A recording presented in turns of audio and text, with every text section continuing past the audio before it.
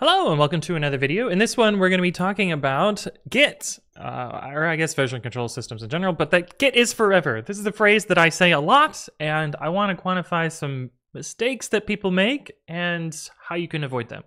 Uh, let's jump into it. Okay, so what, what do I say when I mean Git is forever? Uh, this is kind of the point of a version control system in general, in that like every time that you commit something, you can always retrieve the code from that commit. That's kind of the point.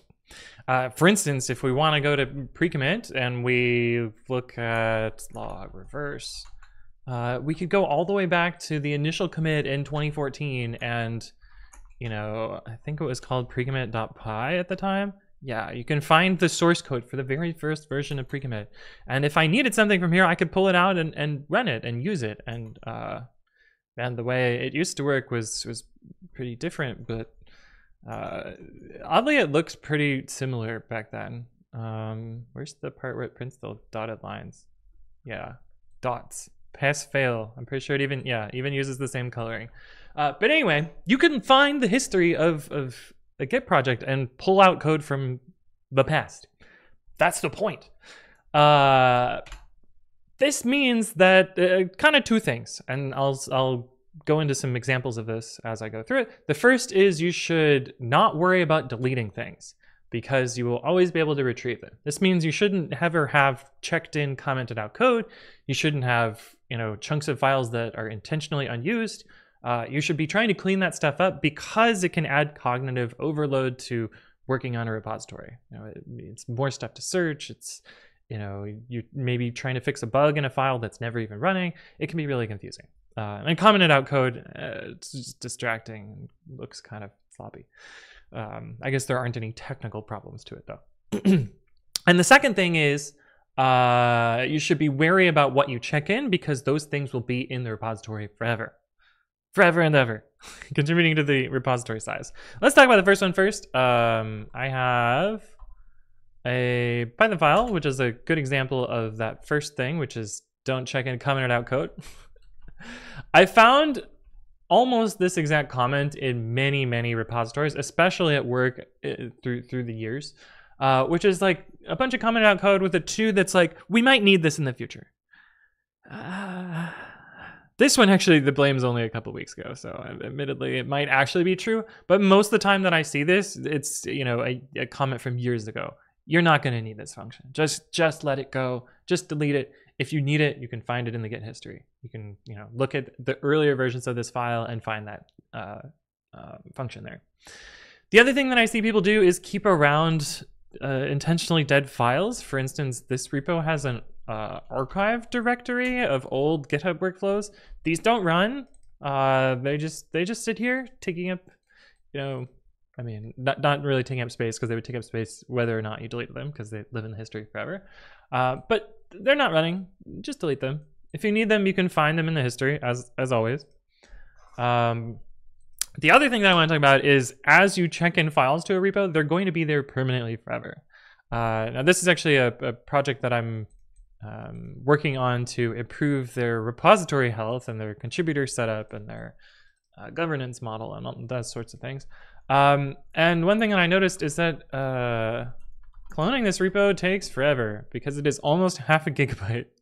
And it's a programming language. It shouldn't be this big. It shouldn't, it's just, you know, it should mostly just be text at that point. Um, but the reason that it's large is because some sins have been committed in the past, and we're going to look at those. Uh, fortunately, we can use this tool that if you search for the Stack Overflow post, you'll be able to find it.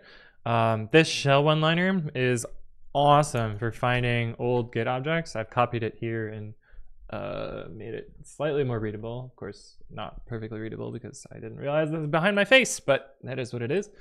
Uh, and if we run this, it's going to spit out every object in the repo, every single object in the repo, and uh, tell you the size, which is really useful. So you can see here, for instance, these two files that shouldn't have been checked in. These are like Webpack cache files. Shouldn't have been checked in in the first place. Are 10, like no 20% of the repo size. Just right here, just these two files. Um, and so avoiding, you know, potentially avoiding this one mistake at that point in time uh, could have could have saved the repository by nearly you know 110 megabytes in size, which is wild to me. Um, there's another fun one that I wanted to show. This one. I, I have no explanation for this file. This file is actually really funny. Uh, git cat file blob this less.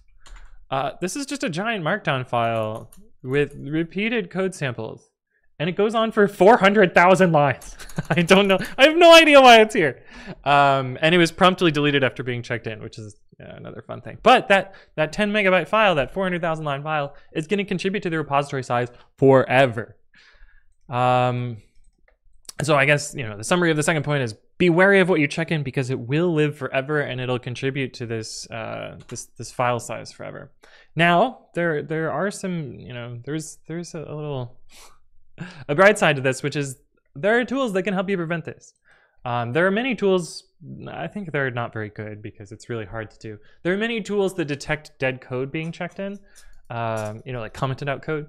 Uh, I haven't found any success ones ones that I felt confident enough in because it's hard to it's hard to tell whether code is actually code or not, especially when it's a comment. When it's not code and then it's not running, I, you know, it's it's difficult. And I haven't found a good one yet. But for the second part, um, these large files, you can use a tool such as Precommit. And here's a Precommit hook that I wrote a long time ago.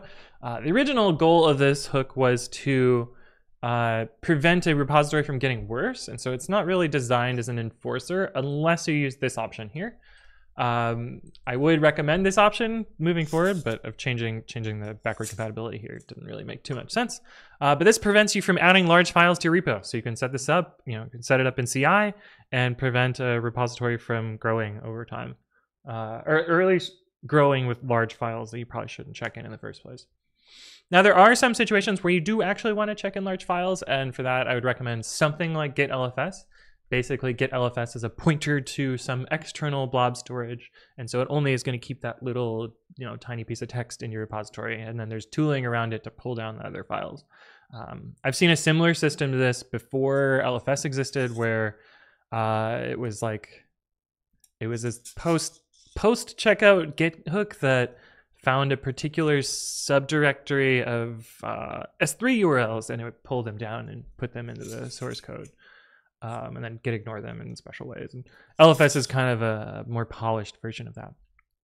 Uh, but anyway, it's a it's a good idea to prevent you from checking in large files because they will live forever and they will contribute to the large Git uh, repository size. Now you can sort of fix these problems by rewriting the history, but that's pretty destructive and disruptive.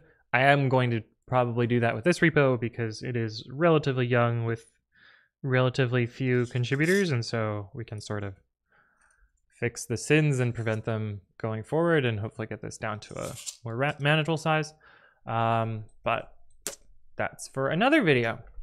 Anyway, hopefully you found this useful. If there are additional things you would like me to explain, leave a comment below or reach out to me on the various platforms. But thank you all for watching, and I will see you in the next one.